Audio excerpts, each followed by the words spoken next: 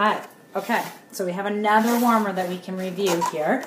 The unboxing of the Hydel, Hidalgo? Hidalgo. I don't know if that's right. anyway, so this warmer, when we review this one, I'm going to show you. Again, your light bulb comes inside the warmer, so you want to kind of weasel that out nice and slowly. This one is a 25 watt light bulb, looks like, 25 watt. So this particular warmer I think would be awesome in your kind of modern decor. Um, yeah, it's kind of a stone look. I'm going to bring it up nice and close so you can get the color. I'm liking this one. That's good. Mm -hmm. On the bottom, obviously, it always tells you that it's a Scentsy warmer. So there you go. And let's open up that dish and get that on top.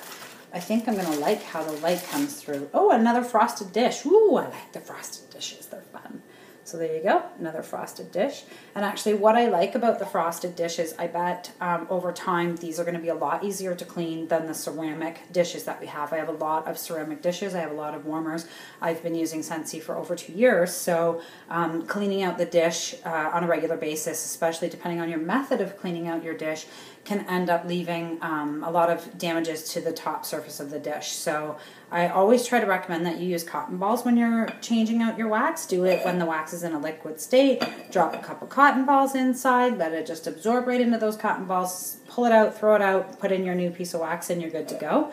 Um, but sometimes some of the wax will stain your dish. So again, I'm totally up for this frosted glass look. Look at that. Actually, I'm really digging this one. I think that frosted glass top is kind of like the perfect touch for it. That's fun.